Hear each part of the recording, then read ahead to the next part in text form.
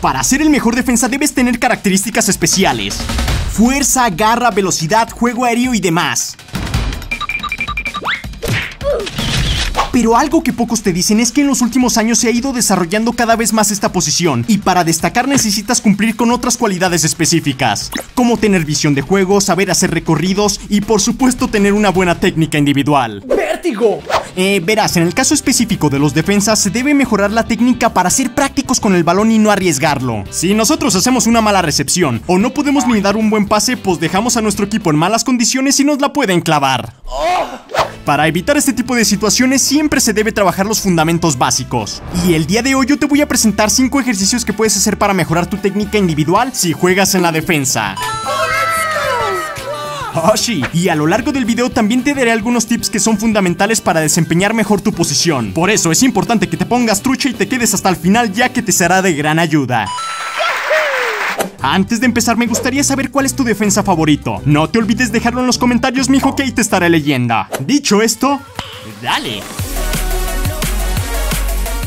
Los defensas deben ser rápidos y seguros a la hora de tener la pelota, y la recepción orientada es un excelente recurso que te ayudará en esta tarea. Como vemos en las imágenes, es más tardado hacer un control en la dirección opuesta a la que vamos a atacar, y podemos poner en riesgo a nuestro equipo. Si en lugar de eso nosotros practicamos la recepción dirigida, avanzamos mucho más rápido y podemos romper la línea de presión para darle salida al juego.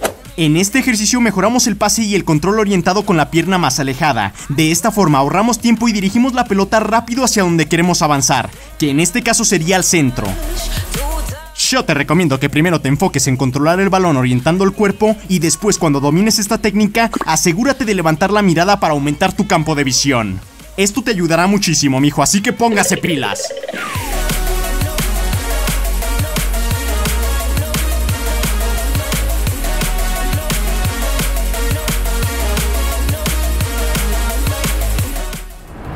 La segunda técnica es para los defensas cuajados y para los tipos que juegan en el medio campo. Como vemos en el video, otra forma de orientarnos rápido con el balón es dejarlo pasar. Pero claro, aquí tendrás que medir muy bien las distancias que tienes con el contrario para que no la vayas a cajetear. Si se te complica te recomiendo que practiques este ejercicio, que es muy parecido al anterior porque básicamente la idea es la misma. Orientar el cuerpo hacia donde queremos dirigirnos para no perder tiempo y jugar rapidito, papá. Nomás asegúrate de no alejarte mucho del esférico y levantar la cabeza para una mejor visión de juego. Yeah.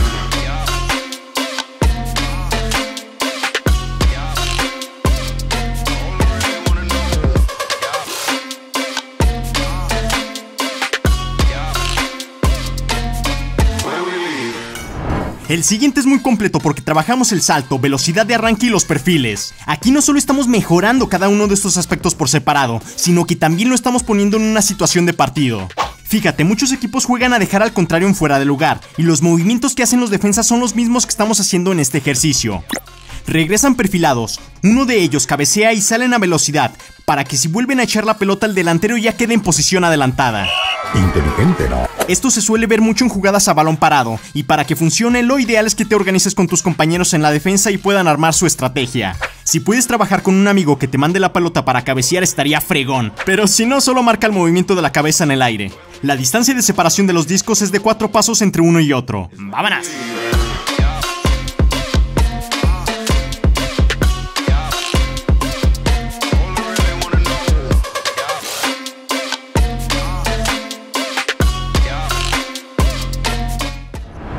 Esta es una variante del ejercicio anterior porque volvemos a trabajar con los perfiles y aparte le agregamos un gesto técnico que nos ayudará a proteger la pelota.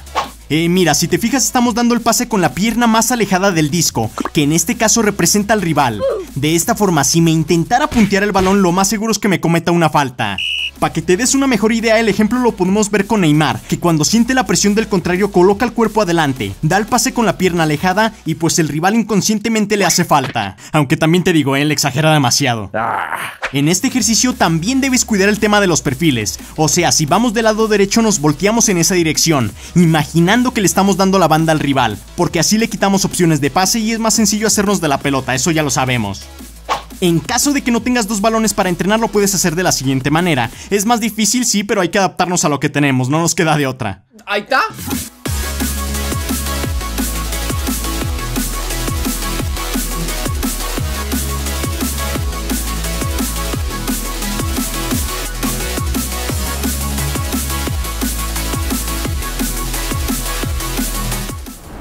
Terminamos la sesión con un trabajo muy técnico. Cuando los equipos se enfrentan a una presión alta, los defensas son los encargados de ir construyendo la salida, y para ello es necesario que cuenten con una buena técnica de pase, recepción orientada y visión de juego. Por eso en este circuito trabajamos todos esos detalles, y le aseguro que cuando lo haga va a salir bien chipocludo, mijo, así que póngase trucha. Alto que mi rey.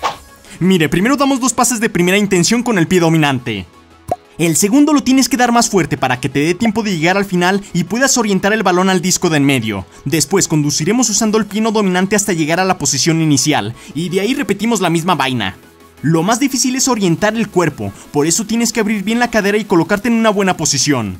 Esto lo vas a ir mejorando con la práctica, y al igual que en los ejercicios anteriores cuando lo domines asegúrate de levantar la mirada para observar a tu alrededor. Ah, y por supuesto, también debes hacer el ejercicio con el otro pie, ¿eh? No te engañes. A mí me vale ver.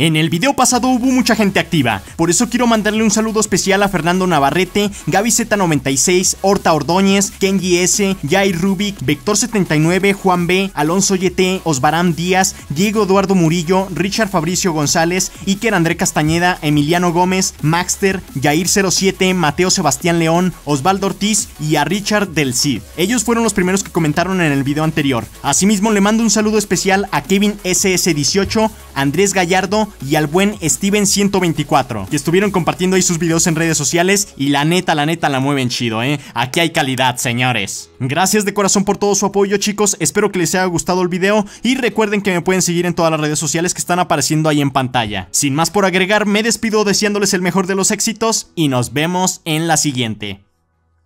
Chao.